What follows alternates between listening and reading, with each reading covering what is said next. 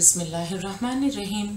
अल्लाह की ज़ात पाक का बहुत बहुत शुक्र है, जिसकी इज़्ज़त और अज़मत के सदक़े में अच्छे और नेक काम पूरे होते हैं। बृहन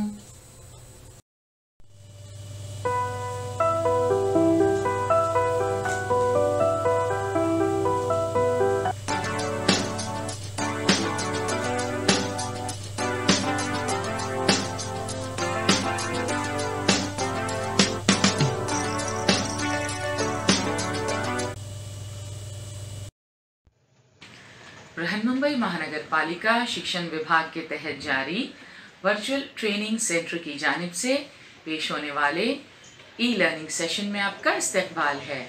मैं हूँ आपके मौलमा मैमुना शेख। तो आइए आपके तालीमी सिलसिले को आगे बढ़ाते हैं और शुरू करते हैं आज का हमारा सेशन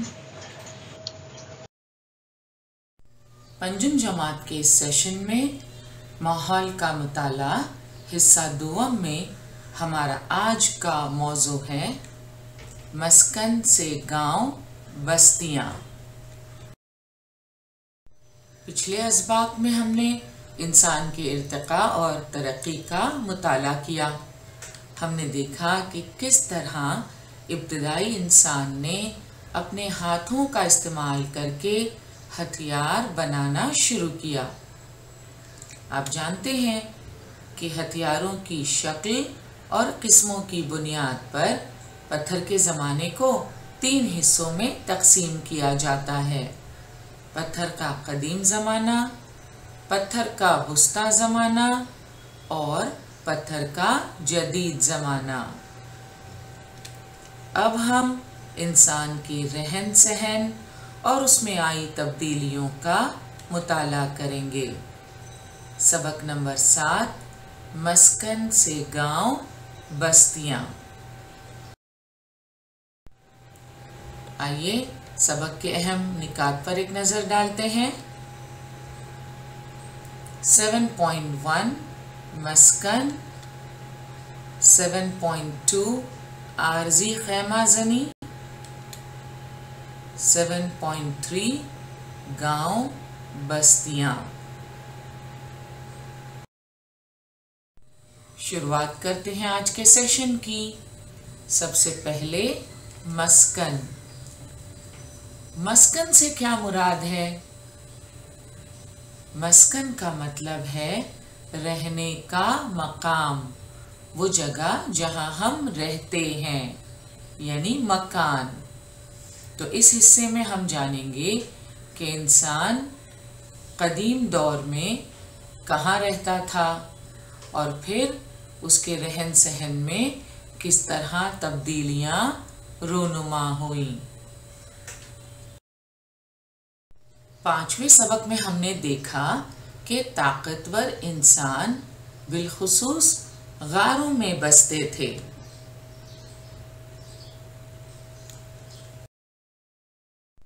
उस दौर में इंसान को पता नहीं था कि मकान कैसे तामीर किया जाता है मकान की तामीर में कौन से वसाइल इस्तेमाल होते हैं? लिहाजा इंसान गारों में रहते थे। गार यानी पहाड़ की खो और आज आप देख सकते हैं, मुख्तलिफ़ किस्म के मकाना तामीर किए जाते हैं। ऊँची ऊँची फलकबोस इमारतें हमें नज़र आती हैं। मगर उस दौर में इंसान गारों में रहता था। गार चूँकि कुदरती तौर पर मैसर थे।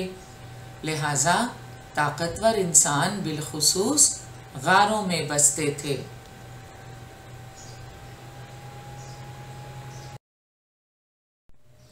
उस जमाने में ज़मीन का बड़ा हिस्सा बर्फीला था, इसलिए आबो हवा इंतहाई सर्द थी। अब आप अंदाज़ा कर सकते हैं इस बर्फीली ज़मीन पर आबो हवा कितनी सर्द होगी? उस ज़माने में यूरोप की आबो हवा मुंजमद कर देने की हद तक सर्द थी। आज के दौर में सर्दी से बचने के लिए हम क्या करते हैं? गर्म ऊनी कपड़े पहन लेते हैं, जहाँ ज़्यादा सर्द आबो हवा है वहाँ लोग अपने घरों में, दफ्तरों में इस किस्म के हीटर्स का इस्तेमाल करते हैं। मगर उस दौर में तो ये सब नहीं था। तो इंसान सर्द आबो हवा के असरात से कैसे महफूज रहता था? शदीद सर्दी से अपने आप को महफूज रखने के लिए इंसान ने अलाव का इस्तेमाल किया। अलाव आप देख सकते हैं। लकड़ियों को इकट्ठा करके आग जलाई जाती थी और फिर उस आग की गर्मी से सर्दी के असरात से महफूज रहने में मदद मिलती थी। जंगल में लगी हुई आग को देखकर इंसान आग से आगा हुआ। सीधी पुष्ट वाले इंसान ने दरख्त की जलती हुई शाखें लाकर उसके इस्तेमाल का हुनर सीखा होगा। ताकतवर इंसान सख्त लकड़ी वाली शाखों को रगड़कर या चकमाक को एक के ऊपर एक पटक कर निकलने वाली चिंगारी से आग पैदा करने का हुनर जान चुका था। लिहाजा सर्दी से महफूज रहने के लिए अलाव का इस्तेमाल किया जाने लगा। मगर सिर्फ़ अलाव का इस्तेमाल ही काफ़ी नहीं था।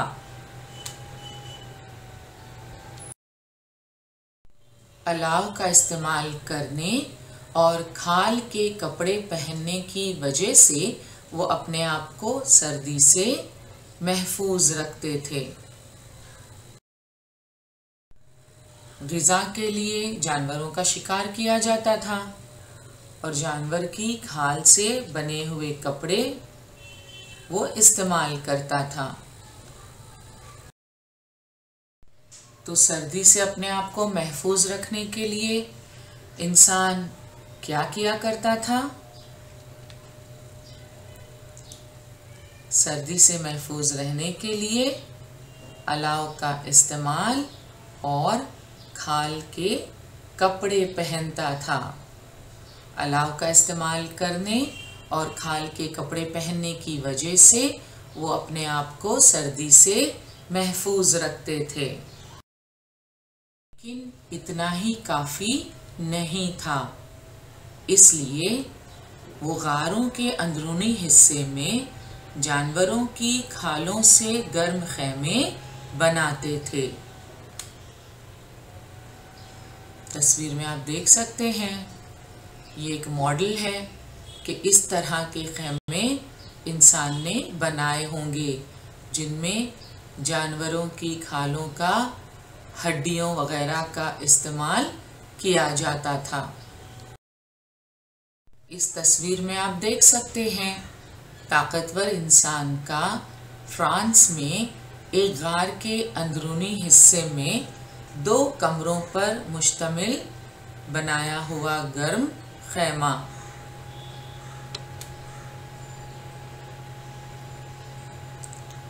तो इस तरह गारों के अंदरूनी हिस्से में, जानवरों के खालों से गर्म खैमे बनाते थे। ज़रूरत के मुताबिक उन्होंने खुली जगह में भी झोपड़ियाँ बनाई। खुली जगह में बनी हुई ये झोपड़ियाँ आप देख सकते हैं। शुरुआत में तो झोपड़ियाँ खाल की बनी होती थीं, मगर धीरे धीरे उनकी बनावट और जिन चीज़ों से वो बनाई जाती थीं, उनमें तब्दीलियाँ होने लगीं। इस ताल्लुक से हम तफसीली मालूम अगले सबक में हासिल करेंगे, जब हम घरों की तामीर का मुताला करेंगे। तो हमने देखा ताकतवर इंसान बिलखसूस गारों में बसते थे। अपने आप को सर्दी से महफूज रखने के लिए वो गारों के अंदरूनी हिस्से में जानवरों की खालों से गर्म खैमे बनाते थे। ज़रूरत के मुताबिक उन्होंने खुली जगह में भी झोपड़ियाँ बनाई।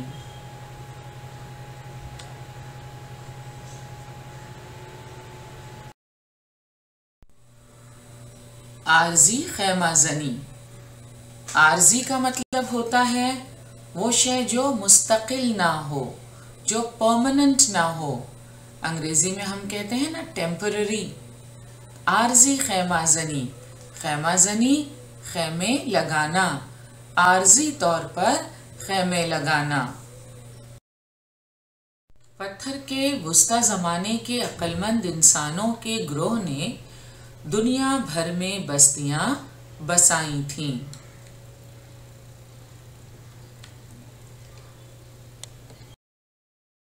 पत्थर के वस्ता ज़माने में आबो हवा गर्म होने लगी थी। हर तरफ़ माहौल में तब्दीलियाँ होने लगी थीं। इसकी वजह से पत्थर के वस्ता ज़माने के अक्लमंद इंसान के गज़ाई तौर तरीक़ों में भी तब्दीली होने लगी थी। इब्तदाई इंसान गज़ा के लिए जानवरों का शिकार किया करता था। बहुत बड़े पैमाने पर होने वाले शिकार और माहौल की तब्दीली की वजह से पत्थर के वस्ता ज़माने तक मौत जैसे इंतहाई बड़े डेल डोल के जानदार नीस्तो नाबूद होने लगे। ये मेमौत हाथी की तस्वीर आप देख सकते हैं। एक बड़े डेल डॉल वाला जानवर बड़े पैमाने पर इसका शिकार होने की वजह से धीरे धीरे ये ख़त्म होने लगे नीस तो नाबूद होने लगे। हाथी तो जसामत में वैसे भी बड़ा होता है। मैं मौत हाथी का जद अमजद था। जद का मतलब होता है दादा। और जद अमजद यानी परदादा। अंग्रेज़ी में हम कहते हैं एंसेस्टर मेमोथ हाथी का जद अमजद था। The mammoth was an ancestor of the elephant लेकिन हाथी के मुकाबले में जसामत के लिहाज से काफ़ी बड़ा था। अभी इंसान खेती बाड़ी से वाकिफ नहीं हुआ था। उसने काश्तकारी करना शुरू नहीं किया था। लिहाजा गज़ा की तलाश में वो एक जगह से दूसरी जगह भटकता रहता था। जानवरों का शिकार किया करता था, फल जमा किया करता था। जड़ें और कंद का इस्तेमाल भी गज़ा के तौर पर करता था। बड़े पैमाने पर होने वाले शिकार और माहौल की तब्दीली की वजह से पत्थर के वस्ता ज़माने तक मौत जैसे इंतहाई बड़े डेल डोल के जानदार नीस्तो नाबूद यानी ख़त्म होने लगे। होमोसेपियंस यानी अक्लमंद इंसान, शिकार के साथ साथ बड़े पैमाने पर माहीगिरी करने लगा था। माहीगिरी, यानी मछलियाँ पकड़ना। माही का मतलब होता है मछली। तो माहीगिरी करना, मछलियाँ पकड़ना। मौजूदा दौर में माहीगिरी बड़े पैमाने पर की जाती है। साइंस और टेक्नोलॉजी का इस्तेमाल किया जाता है। तस्वीर में आप देख रहे हैं बड़ी बड़ी कश्तियाँ समंदर में भेजी जाती हैं। और बड़े पैमाने पर माहीगिरी की जाती है। मगर उस दौर में तो ये सब नहीं था। तो इंसान किस तरह माहीगिरी किया करता था? आपको याद है, पिछले सबक में हम पढ़ चुके हैं इस तरह हड्डी से बनाया हुआ मछली पकड़ने का कांटा इस्तेमाल होता था। इसके अलावा मुख्तलिफ़ किस्म के औज़ार इस्तेमाल होते थे, जिनकी मदद से इंसान माहीगिरी किया करता था। तो अक्लमंद इंसान शिकार के साथ साथ बड़े पैमाने पर माहीगिरी करने लगा था।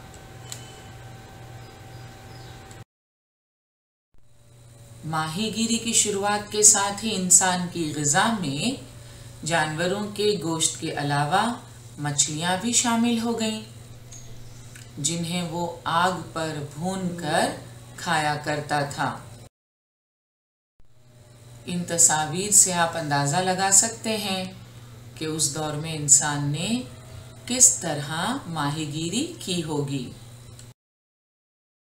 पत्थर के वस्ता ज़माने तक मेमौत जैसे इंतहाई बड़े डेल डॉल के जानदार निस्तो नाबूद होने लगे थे। अब इंसान का ज़्यादातर इन्हिसार जंगली सुअर, हिरन जैसे छोटे जानवरों के शिकार पर था।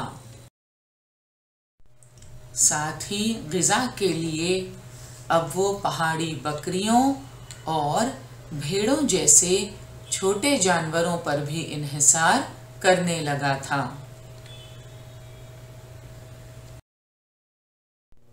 पत्थर के वस्ता ज़माने में आबो हवा और माहौल में तब्दीली की वजह से इंसान की तर्ज ज़िंदगी भी बदलने लगी थी। ताकतवर इंसान के ज़माने में यूरोप की आबो हवा मुंजमद कर देने की हद तक सर्द थी। लिहाजा इंसान अलाव का इस्तेमाल करता था, खाल के कपड़े पहना करता था। पत्थर के वस्ता ज़माने में आबो हवा गर्म होने लगी थी। हर तरफ़ माहौल में तब्दीलियाँ होने लगी थीं। इसलिए पत्थर के वस्ता ज़माने में आबो हवा और माहौल में तब्दीली की वजह से इंसान की तर्ज ज़िंदगी भी बदलने लगी थी। आबो हवा और माहौल की तब्दीली का असर हमारी ज़िंदगी पर भी होता है। इसे मिसालों की मदद से समझने की कोशिश करते हैं। मौसम सरमा में हमारा रहन सहन बदल जाता है। ये देख रहे हैं आप? गर्म कपड़े हम पहनते हैं। शॉल, स्वेटर, मफलर, ऊनी टोपी। और ज़्यादा ठंड हो, कंबल ओढ़ लेते हैं। जगह जगह आग जलाकर गर्मी हासिल करने की कोशिश की जाती है। जिस तरह ताकतवर इंसान अलाव जलाकर गर्मी हासिल किया करते थे,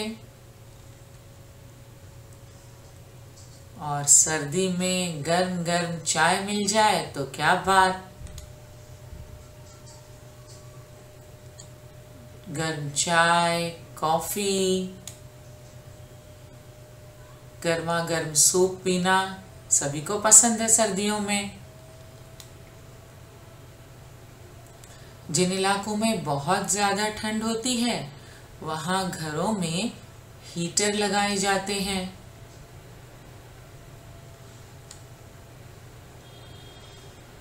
कई इलाकों में बर्फबारी होती है। वहाँ लोगों के लिबास आप देख सकते हैं। जहाँ बर्फबारी होती है वहाँ मुख्तलिफ़ किस्म के विंटर स्पोर्ट्स जो हैं उनका इनका किया जाता है।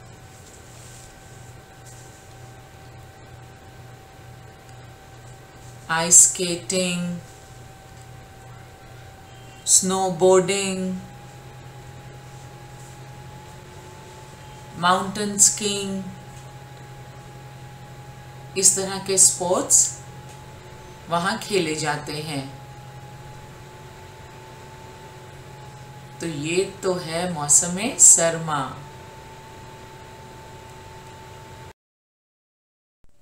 मौसम गर्मा में गर्मी की शिद्दत से बचने के लिए हम क्या करते हैं? सूती कपड़े पहनते हैं। छाता इस्तेमाल करते हैं। गर्मी में तरबूज खाना, नारियल पानी पीना हम सबको बहुत पसंद आता है। दिल चाहता है कि बस पानी पीते रहें। ठंडे मशरूबात, लस्सी, छाछ इनका इस्तेमाल बढ़ जाता है। जिस तरह सर्दी में घरों में हीटर्स लगाए जाते हैं, गर्मी में कूलर्स एयर कंडीशनर्स वगैरह का इस्तेमाल किया जाता है। और इन बच्चों को देख रहे हैं आप? गर्मी से बचने का क्या तरीका ढूंढ निकाला है?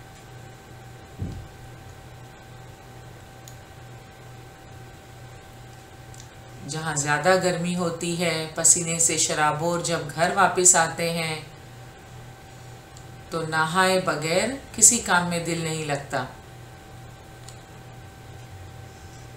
कुछ लोग तो तफरी की गर्ज से पहाड़ी मकामात पर चले जाते हैं, क्योंकि अक्सर गर्मी के मौसम में छुट्टियाँ होती हैं। तो इस तरह मौसम गर्मा में आपने देखा, मौसम सरमा के मुकाबले में हमारे रहन सहन और तर्ज ज़िंदगी में फ़र्क आ जाता है। और अब बात करते हैं मौसम बरसात की। जैसे ही बारिश की पहली बूंद ज़मीन पर गिरती है, हम अपनी अपनी छतरियाँ अलमारी से निकाल लेते हैं। रेनकोट ढूंढ कर निकाल लेते हैं।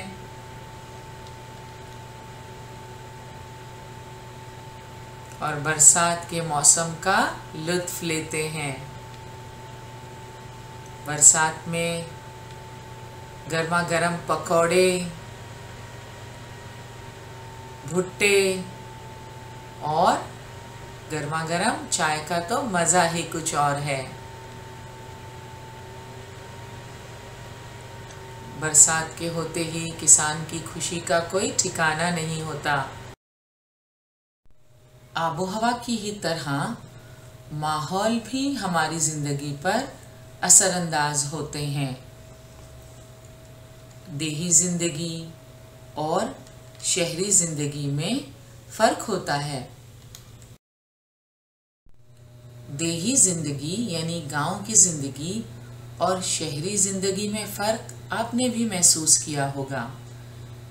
गाँव का माहौल शहरी माहौल से मुख्तलिफ़ होता है और ये फ़र्क हमें वहाँ रहने और बसने वाले लोगों की तर्ज ज़िंदगी में साफ़ दिखाई देता है। फिर चाहे वो लिबास हो, गज़ा हो या मकानात की तामीर। देहातों में साफ़ सुथरी आबो हवा हर तरफ़ हरियाली ही हरियाली। ना कारखानों से निकलने वाला धुआँ, ना ट्रैफ़िक का अजदहाम। लोग कुदरती माहौल से करीब, सादा ज़िंदगी बसर करते हैं। छोटी छोटी बातों में खुशियाँ तलाश करते हैं।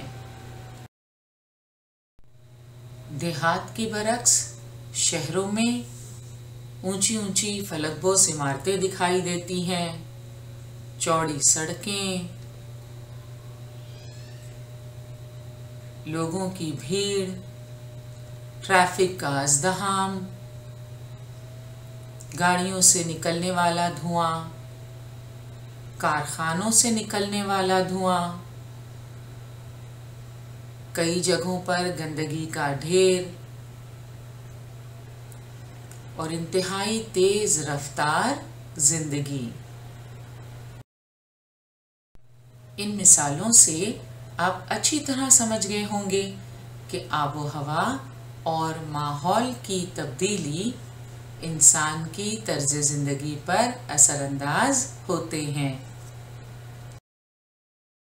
इसी तरह पत्थर के बुस्ता ज़माने में आबो हवा और माहौल में तब्दीली की वजह से इंसान की तर्ज ज़िंदगी भी बदलने लगी थी वो तब्दीलियाँ कौन सी थीं इनशाला हम अगले सेशन में जानने की कोशिश करेंगे and it's activity time now. आपकी दरसी किताब में सफ़ा नंबर तैतीस पर ये सरगर्मी दी हुई है। लिखिए कि मुख्तलिफ़ मौसमों में आबो हवा की तब्दीली का आपकी ज़िंदगी पर क्या असर होता है? अभी हमने मुख्तलिफ़ मिसालों की मदद से आबो हवा की तब्दीली के इंसानी ज़िंदगी पर असरात को समझने की कोशिश की। आप उन मिसालों की मदद से और अपने ज़ाती तजुर्बे और मुशाहे की मदद से इस सवाल का जवाब ज़रूर लिखिए। आज का हमारा सेशन यही मुकम्मल हुआ। इनशाला अगले सेशन में ज़रूर मिलेंगे। अस्सलाम वालेकुम।